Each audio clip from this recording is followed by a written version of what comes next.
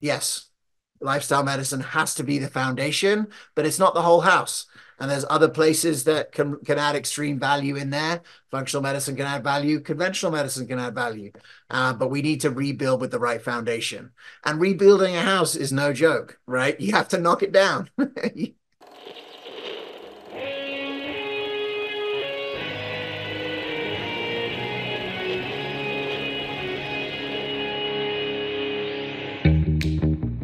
Welcome to Back to the Future podcast. My name is Victor Saadia, and I talk with brilliant minds and hearts of people who want to uproot and transform the current health and wellness paradigm.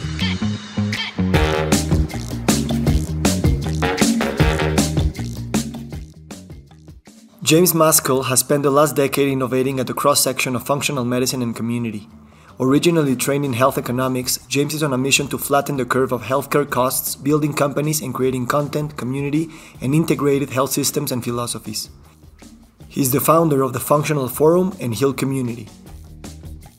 James is a change maker. He knows that changes take time and that we usually cannot predict how our actions will impact the ecosystem further down the line. I am drawn to his passion for building community, knowledge, and hope within a failing medical system. I admire his methods of finding economically viable projects that bring together the best from lifestyle medicine, community medicine, functional medicine, alternative medicine, and all the other fields within the realm of health and wellness. He has been in this game for more than 10 years, and today's episode reflects on his journey and what we can expect in the next 10 to 20 years.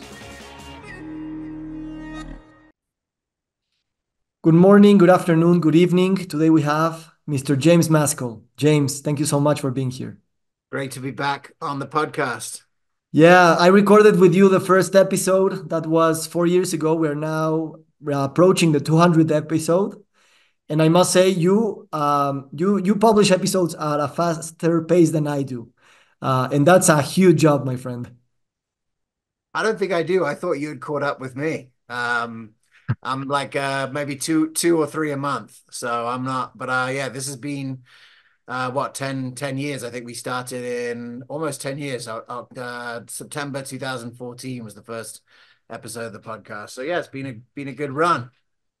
Yeah, I love your your style, which is very relaxed. And you know, for me, the podcast has grown into a space of really deep conversations, and I see it as a sacred space, almost as a therapy space too. Um, how has been for you because you have several kinds of episodes, um, and you're also being invited to a lot of podcasts uh, all over the world. Um, how have you seen this this media evolve over the past ten years? Yeah, it's very interesting. You know, obviously, um, there's a whole thing happening in the US now where there's a greater level of trust in individuals than there is in brands or organizations and people have either built that trust or let that trust go. And it's interesting. I think 10 years ago, it was just sort of like maybe seen as a fad that would go away. But actually, what you see now is that all the biggest brands in the world, you know, have a podcast because they're looking to build trust, they're looking to build intimacy. It's so easy to get the podcast and listen to the podcast. So I think that that is actually a fundamental change in society. And you see you know, Tucker Carlson, Joe Rogan, these names, you know, they have so many more people listening than these established brands. Um, even, you know, whatever the names are, they've built trust in their audience and that audience has grown and that audience is worldwide. The fact that all the technology is across all the different smartphones um, means that you can get your word out, you can get your brand out um, in your own authentic voice. And obviously, you know that that's interesting. I mean the number of people that you have trust with and the fact that even in in social media world like victor sits next to you know some other person in some other world that has their own celebrity in some world it's like it's uh you have the same platform as a as a billion dollar enterprise and it's just the degree to which you uh, build and curate that trust over time what is the mindset that you go in into a podcast recording? You know before you start recording what's your mindset and what's your objective when you start a conversation that you're recording with someone? It's a good question. You know so when i first started the functional forum i had notes. And I would look at my notes and I would say, hey, make sure that I covered all the things in my notes. And got about six months into it. And this, by the way, is a, a different thing, which is a live studio audience show. Um, I just realized like I need to get rid of the notes and I need to just be present with the conversation and just take it where it needed to go. Um, I you know, I there are moments where I wish that I had gone into sort of long form conversation because I think ultimately having a half an hour podcast or otherwise is limiting in that you really only get to a surface level communication with whoever you're meeting with. But then at the same time, um, I just love the opportunity to meet people, to take out interesting parts of their story, to try and draw out the things that I think would be interesting to the audience that are listening to my podcast. And, you know, also just try and create a balance between the things that I'm passionate about, the things that are maybe interesting to the audience. And that's been a journey. I mean, when I started, there were so few choices, and now there's a million choices. And so it's it's a different world, but the people that I've met, the experiences that I've had through being on podcasts and also through you know doing my own has been amazing. Yeah. I, I, I have very present the podcast you recorded with Dr. Rangan Chatterjee. I think it was like last year. Uh, it was a very vulnerable, open conversation, and it's amazing how you know you you you you form you form friendships, you know, through through through short or or even long conversations. But there are few conversations because all the people you are interviewing are very busy, uh, and you've and you've become friends of all of the leaders of, of, of our movement. Um, how has that been for you, forming friendships with all these people? Yeah, uh, it's a good question. You know, I would say many of those friendships were actually formed, you know, years before. So, you know, if there's there's Dr. Chatterjee is a great example. You know, in, in 2014, um, I I missed the only flight that I've ever missed in my whole life. Like I'm not a late person. I always, you know, on time. I never missed a flight apart from the one time I was in Colorado in 2014. We had just been in town to do the fifth ever functional forum. Dr. Chatterjee had watched the functional forum and had written to me on Facebook saying he thought it was cool. He loved the fact that we had Cypress Hill as the like music insane in the brain for the brain forum.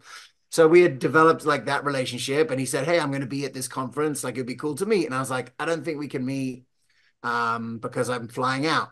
So, in the craziest of all stories, I missed the flight, and um, I've got a day. The next flight's not till the evening, so I've got a day, and I hit him up and I say, "Hey, actually, I missed my flight. Why don't we meet up for lunch?"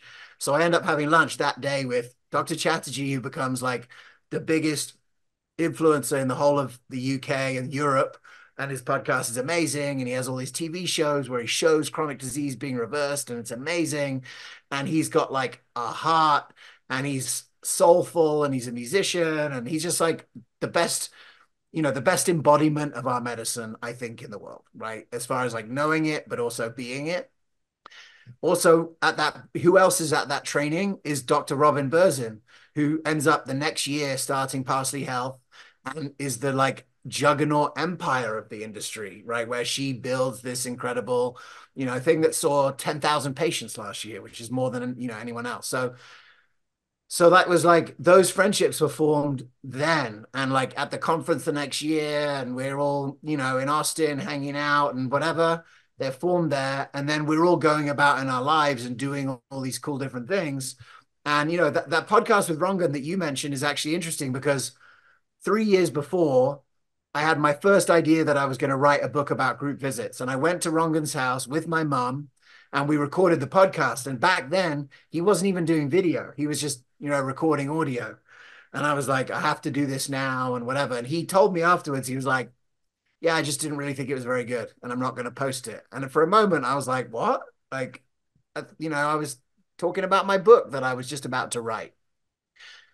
And the thing that came back around was that between that moment and between the moment that I actually recorded with him, I had a deep personal journey with group, right? Where I where I was, you know, I was talking about the success of groups in a way before that, like I did my TED talk about it in 2015, and it was like, this is the way that we're going to solve healthcare. But it was very much like, oh, isn't it cool how all these groups are happening and look at the outcomes and look at the data. When we when I did this podcast with Rangan the sec the second time, his wife, who edits the podcast, you know, messaged me on on um, WhatsApp, and it's just like, I just listened to your episode and I'm crying and it's amazing, and I'm so glad that you know that we did it and it was because, like, in that time, in those three years, I had had some crazy things happen professionally, personally. You know, there was the pandemic, whatever, but I'd also joined this men's group and like found my own benefit from co-regulating with a group of emotionally mature men. I had like emerged as a man in integrity in my you know my my relationship i had emerged as a better father i had emerged as you know i and i had actually witnessed extreme transformation in a free group amongst non-medical professionals.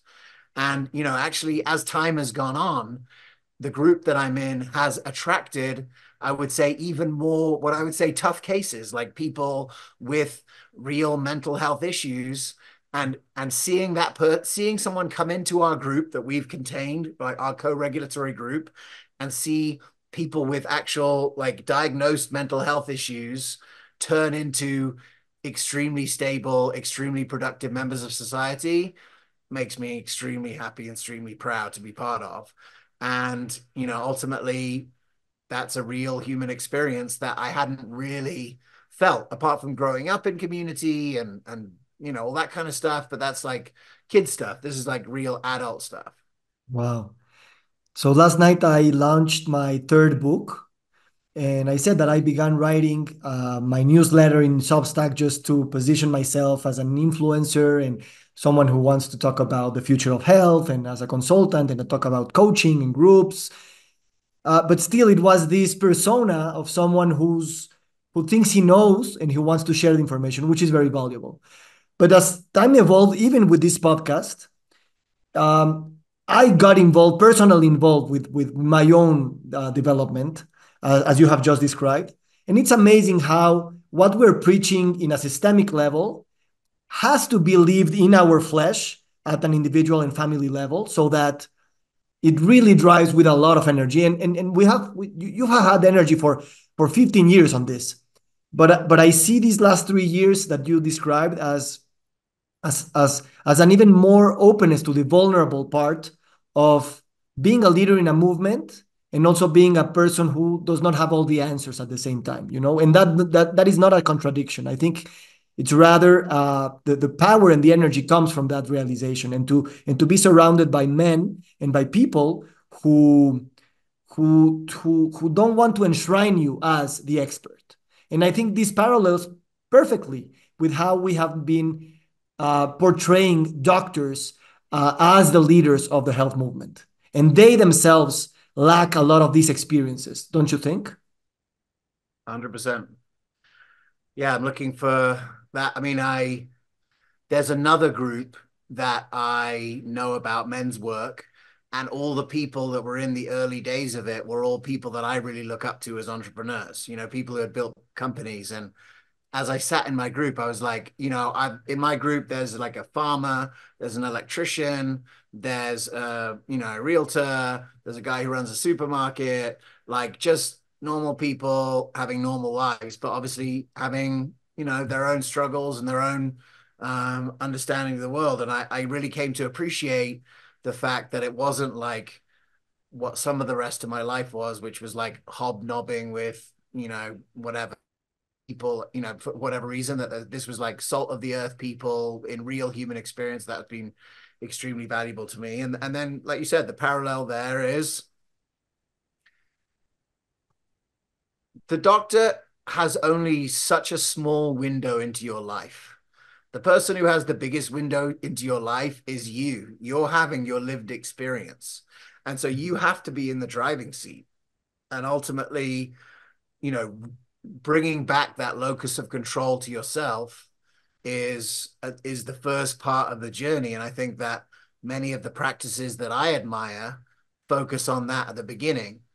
And this is where I would say I've been I've been talking about it on the podcast for the last little while, but I see a new standard of care emerging, where I think there's a standard of care coming to the future of medicine that takes all the best bits from everything that we've learned and puts it into an economically viable model. And that is that the group, the community creates safety, facilitates the changes of behavior, and creates the like personal transformation and the locus of control back to the person. And then the doctor is really there to tweak the individual nature of the protocol, whether that be drugs or supplements, that's their job. And that standard of care doesn't put the weight of the transformation onto the doctors and it puts the weight of the transformation onto the patient, but it distributes the weight into the community. And so what the doctor ends up being is sort of like a community builder plus specialist. And I think that actually that's that's a good a good use of resources for everyone. I love how you put this changing the locus of control into the patient, but also you say distributing this responsibility into the community. That's such a powerful thing. Um, um, I think that we talk a lot uh, about community and we know the benefits of community in all realms, you know, longevity, happiness, uh, nervous system regulation, everything. Uh, and still, one thing is to talk about it, and one thing is to experiment the feeling that my burden is distributed amongst my peers, my friends, my family.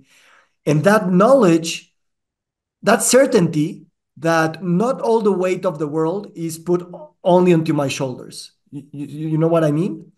Um, what, there, what, what, what have been important experiences for you as an individual and as, um, and as a leader in the health arena, working with health professionals?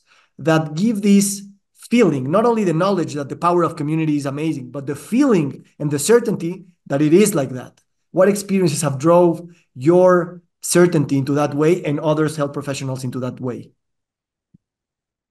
Ooh, that's a good question. Well, an interesting example is that, you know, when I started what I was doing, we were the only people doing anything like this. Like there were other people who had like a clinical training for doctors and there were big, you know, organizations that had training. But like, you know, even there are a dozen groups now, doctors that have taken on, they're going to mentor, they're going to mentor the next generation of doctors to build health focused practices.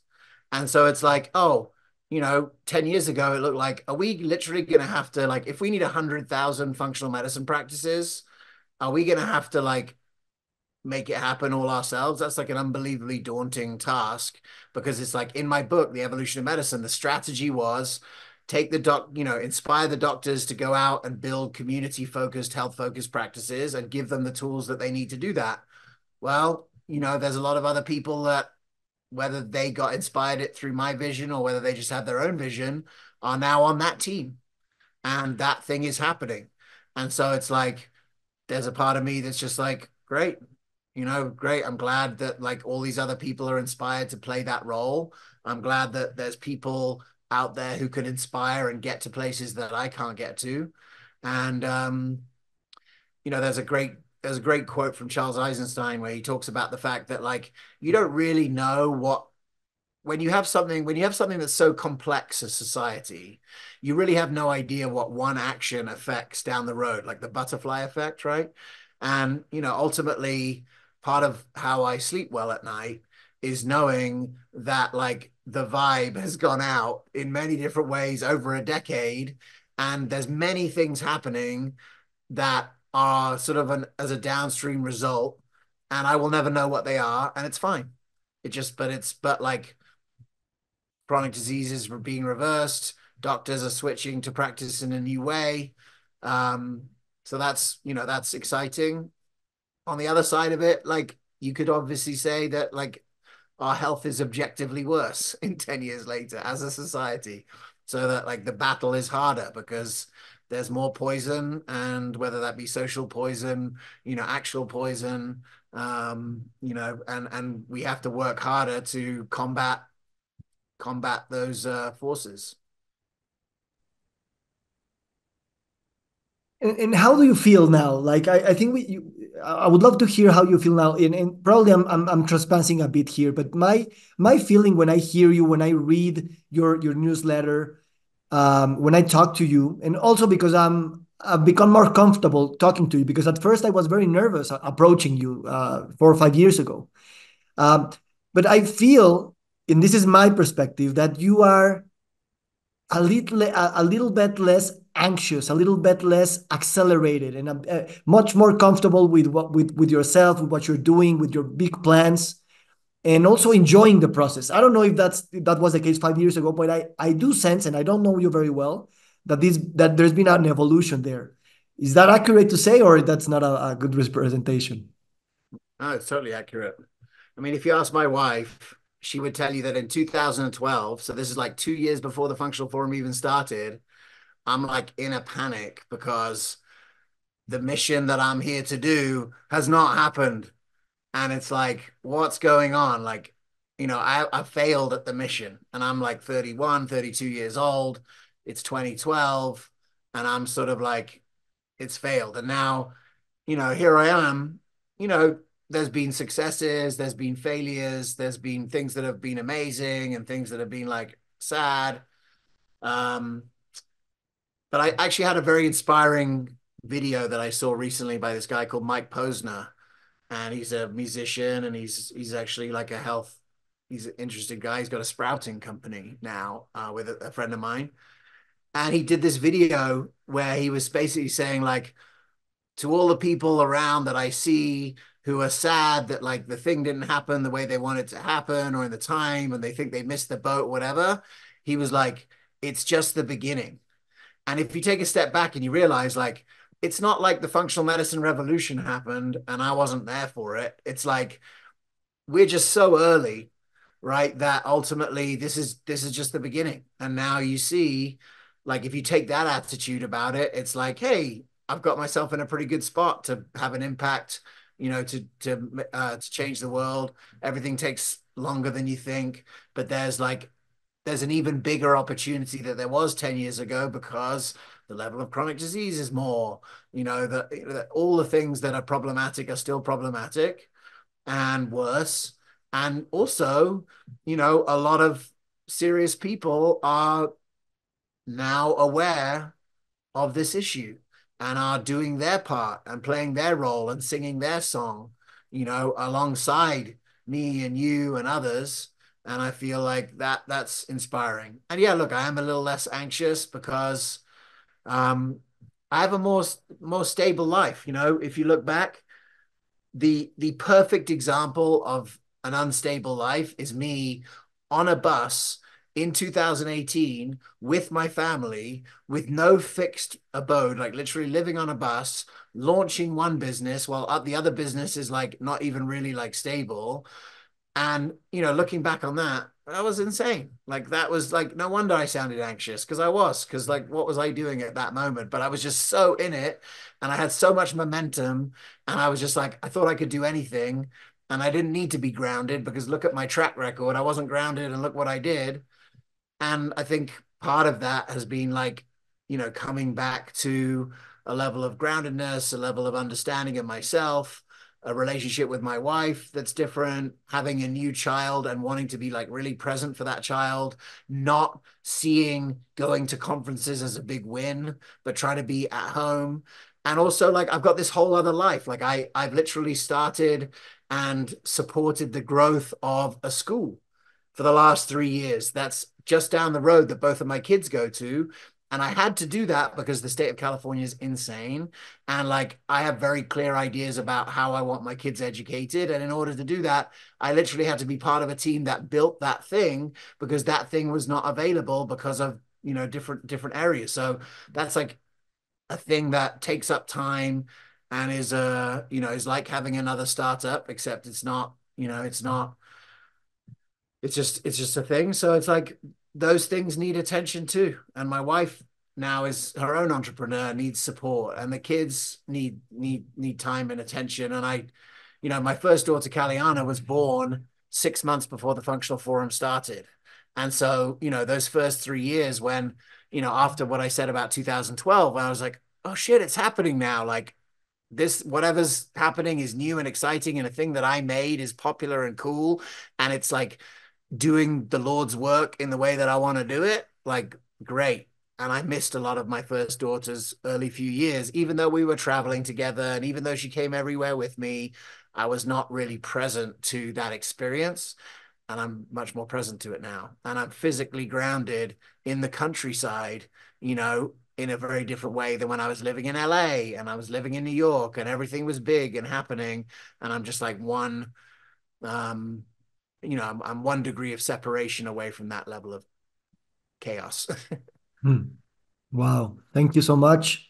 It's amazing how your life also uh, mirrors mine um, and and in, in a sense it also mirrors i think if i can make this uh, somewhat irresponsible um, re reflection which is it also mirrors how civilization is moving you know uh, you if we are very fast paced and moving and launching business here and there and we're not really present with what's what is happening and really at, at the basis of our movement is, is just a slowing down, a, a coming back home, a, a, a, sitting in your desk and, and communicating to the world through a grounded place and not through a nomadic uh, uh, way of being. And I, and I see a lot of health professionals um, also like like needing these kinds of big uh, family decisions where they they exit this rat race that they've been um, indoctrinated to, to to fulfill.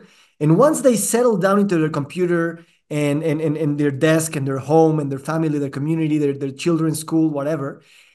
Um, all the things that were there uh, start channeling in the right directions. Uh, but no one has the courage to to to to jump first. You know, like you had to experiment that in your own family and taking the risks of of making those decisions um, and then seeing that it, it is working. And, and, and I'm talking also about myself here because I, I also changed directions in many things that I did before. And and I see that's that's that's one of the things that we need uh, more and more in this movement. Um, yeah. I saw a quote the other day. Said, "The happiest people that I know are slowing down, not speeding up." Yeah, yeah, and and it's funny because when once you slow down, you take better decisions that make make things you know go faster in a sense because they're more intelligent you know? It's not just repeating the same but they're being more, more strategic or at least more in contact with the reasons on why you're doing what you're doing. Uh, and they and they they they tend to come less from a, a place of scarcity but more from a place of i feel self-sufficient i feel sufficient and then i want i want to share i want to build more. And i think that's that's also you know i think that's that's even a more sensible way of of doing businesses. As you said the whole the whole movement is also predicated on the fact that we need to be building um, profitable businesses so that the, this spreads in a in a in a better way. Yeah. You have to find you know you have to find ways to get it to more people and the the one proven way that that's happened and the way that societal change has happened is through you know that sort of movement. I think there's going to be new iterations of that that spread financial success amongst more people. It doesn't concentrate wealth. I think that's maybe the next the next thing. I've actually never spoken about this really but i will say like i think that it's going to become obvious. It, it is already becoming obvious in healthcare in america that those organizations that are delivering healthcare that are private equity funded or venture funded mm, don't have the heart unless it's software. You know what i mean? It's like software maybe but like the the private equity like if you if you go to a mental health institution that is owned by a private equity group good luck. Like that's not going to be a lot of fun because you know the people with heart left 10 years ago so I think there's a new model that will emerge, and I would love to be part of this in my lifetime, is where um, communities are created where the benefit of the success of the medicine benefits a much wider group of the population, including the patient, including the practitioner, and including all the people who support. And I, I'm excited about that. Like I think I think that's the next phase because I feel like the systems that we've had, societal systems that we've had to support people, are are going to collapse. I mean, I think in America is definitely going to collapse. Maybe Mexico will be better run, but America is going to collapse. And so then it's like, okay, well, what support systems can be created? And hopefully it's not just going to have to be hyper local, um, because I think that would be very scary and that would be like um, uh, a problem. But I, yeah, I see that. Um, yeah, I see that.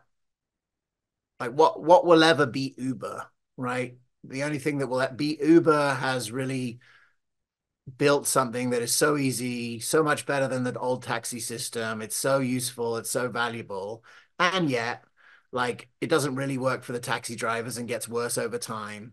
And it doesn't really help the society that has Uber, and it sort of degrades that over time. And so, how long will we stand? Or how long will that be the system that works? Whereas if there was like a version of Uber that had the same, you know, functionality and ease, but you know, created regenerative uh, systems for the empowerment of society and the people driving and the people going and the community at large, I would change the app that I used, right? And I think that's that's the future. Yeah, I would also love to see that in my lifetime. You know, we cannot talk about health without talking about capitalism. And and and I do believe that we also as business entrepreneurs uh, on the health arena, we have to uh, find business models that begin to to to embody this regenerative framework, even at the expense of? Can I give you an example yeah, of one? please. Yeah, so I, I on my podcast, I interviewed this guy, Michael Mabry. Um, he was the only functional medicine doctor in a group of 120 doctors in Johnson City, Tennessee. He put his hand up to say, Hey, I want to organize a community in Johnson City. He had his first event there. 90 practitioners and doctors came from, you know, a, a city of 70,000 people, you know, in not a very like affluent part, Appalachia, rural Appalachia in, you know, in Tennessee. That organization, I interviewed the CEO of that organization, and you know, they'd been asked to be in like a roll up of primary care clinics and blah blah blah, join the local hospital. They'd maintained their independence. They see 150,000 patients, right, across all of those doctors and what they did and they decided they were going to go in the other direction. And so they have like an ESOP, which is an employee stock option plan. And that ESOP is not just there for the doctors, but is there for the nurses and it's people that from the front desk or whatever. And so here you have, you know, a whole primary care system that is incentivized by value. So they're not incentivized by billing more people, they're incentivized to keep people healthy. And now they are sharing ownership amongst all the people that actually participate in that area. And so I would say if you look 10 years down the line, the chance of Johnson City, Tennessee getting healthier just by the economic incentives that have been created is much higher than the town across the way where the hospital was again acquired by another private equity group and then they cut costs and they you know all that like the whole rest of medicine. I think that's interesting. I guess you you just landed on the idea for your next book documenting all these all these things that are happening all around and that they're they are changing the system quietly but in the long term that's that those are the only companies that will prevail. Uh, i hope so. Uh, and we need more of that knowledge and awareness that this is already happening so that other people get good ideas and also good empowerment to say yes i can do that too and i can risk my own logic by by going not not all the, not 180 degrees but slightly to the left. And the important here is the direction because these these principles just accrue more ideas, more community, and, and more momentum, and they grow very organically. But we need to take those steps. So yeah, I'm looking forward to that book, my friend. Well, yeah, you never know. I mean, I am coming into a into across various different ways to do that. I think there's a very interesting future for uh, fractional ownership and tokenization structures um, where you can a community can benefit from their success. And um, you know, I've had various. I actually, right when the pandemic hit, the week that the pandemic hit, I was in India, and I heard an incredible presentation by a, guy by the name of Andrew Hewitt, and he's been an extreme uh, inspiration to me for the last four years. We've spoken pretty regularly, and this is his dream. Actually, this might be his book, uh, but I think there's real potential in it in healthcare and his his concepts, and it's really about how do you how do you interlock um, groups of people in such a way that they have like the most incentive to add value. And there are actually examples of this. So he studied, um, I think it's the Mondragon group society in um, Basque region of Spain. And in the 80s, when Spain um, basically like gave up all of their means of production to go only into tourism, the Basque people didn't and they made cool furniture and they made all this other stuff that they've been making for generations and that furniture became more valuable because everything else that was made in Taiwan was fell apart or IKEA, right? People were still looking, there was still a value, there were still people looking for well-made, historically made, high quality furniture, and they were still making it. And, you know, when COVID happened and the economy tanked because there was no tourism in Spain, they didn't feel it, didn't feel a thing. And a percentage of all of the people's effort, you know, went into a communal pool that supported the community. And I think that's that's very interesting. Do you see these kinds of um, uh, uh, ideas, success stories, topics being discussed enough in health professional congresses, or not? Not not so much, right? I think we're starting the conversation right here. You know, yeah. let's look back in five years and do it. I literally just got off a call yesterday um, with a guy who I've known for years. I don't really want to tell his story because I think it's his story to tell. And he, you know, he basically has lived in the most conservative city in America and created a physical location to house things that are not acceptable in the most conservative city, including green juice and Reiki, you know, and whatever else that we would think is kind of normal in California. And did it and has a vision for um what would you say like the fractional ownership of commercial real estate should we say as a way of bringing people out of poverty i think that's very interesting and i think that there could be you know and I, I guess i'll share the vision that i had as a result of the vision on the phone call with him is there's a lot of malls very close to me here that are dying, mm-hmm. right? Because the mall is is a dying model where everything can be bought online. But I think some of those buildings could be rebuilt as you know centers for community, centers for healing. Listen to Robert Kennedy's you know latest um, documentary that he put out about about healing and healing in community. It's like the video version of my book, The Community Cure. I could see malls across America that are wiped out by Amazon and Walmart and whatever, you know, being brought back to life as modern healing centers where you know you could fractionally own micro parts of all of the you know different old shops and the thing about health there's there's like people who can help you with your finances because financial stress can give you chronic illness. You can have all the food stuff, you can have all the community stuff, you can have the hairdressers and the nails and whatever. You can have all of the things because it all affects the health. Uh, I just I that was just yesterday. So I'm I'm I'm in I'm in the milieu of understanding those things, and I know that there's a coming reckoning for private equity based healthcare that has no heart and has probably terrible outcomes. And um, I think that there's a renaissance that will come as a result of it that is wider ownership and a social safety net that is not coming from the government, but is coming by groups of people working together voluntarily. Wow. My my nervous system just relaxed by hearing you.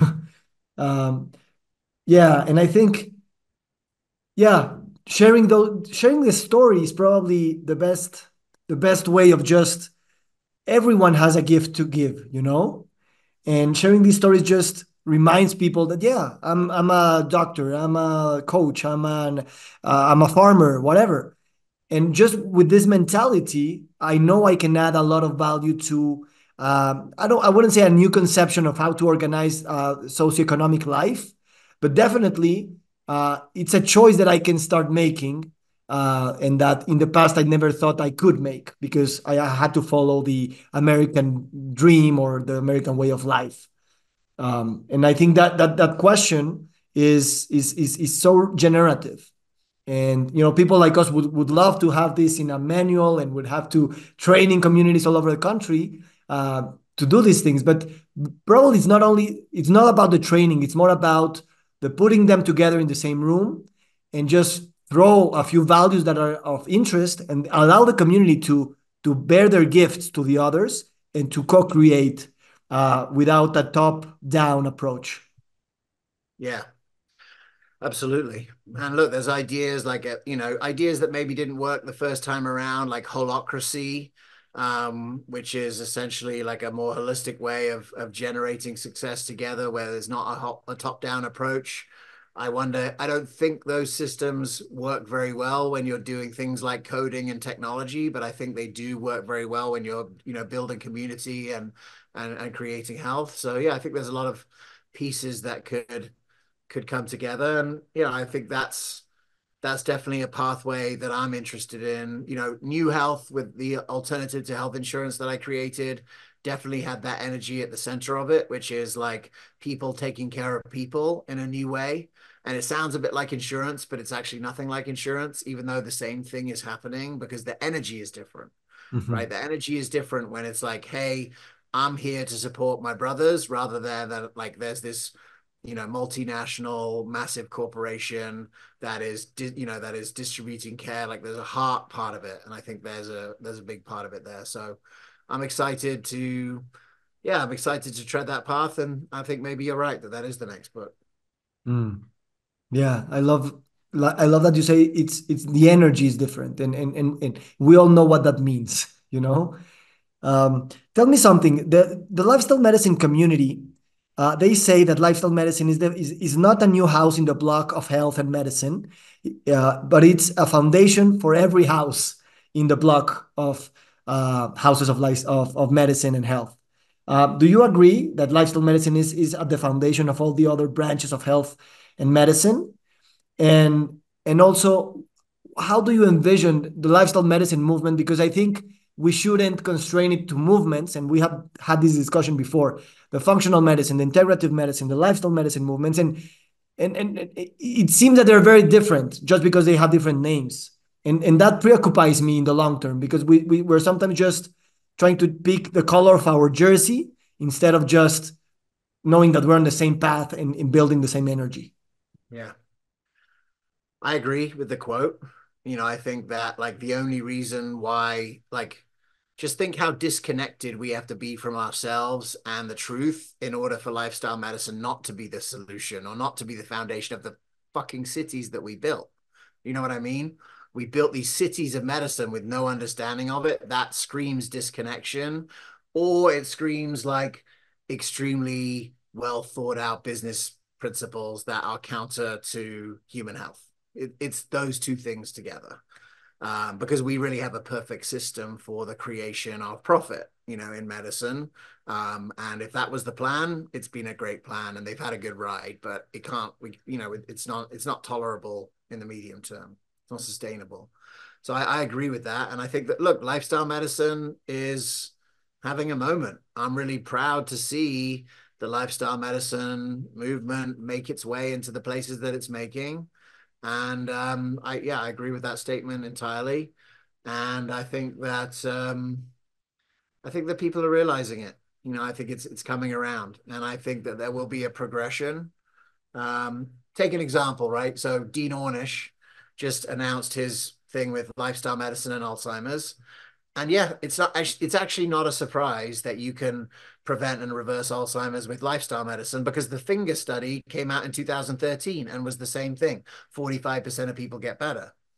However, you know, if you build the foundation of the house with lifestyle medicine, but then you also have specialists that can uncover the causes of the Alzheimer's, remove those causes, you can go from 45% to 75% because 30% of people, it, the lifestyle was necessary, but not sufficient to solve the issue.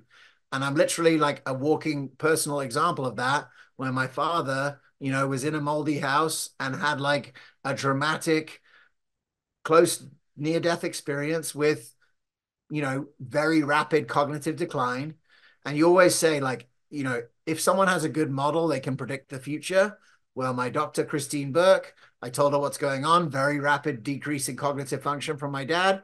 She knows she's one of the six doctors that's doing the dementia reversal trial. She's like, if that happens, if it's that rapid, it's always an infection. Look for mold, look for an infection. I fly to South Africa. I walk into his apartment that he's no longer in because he's collapsed in someone else's house and he's staying with a friend.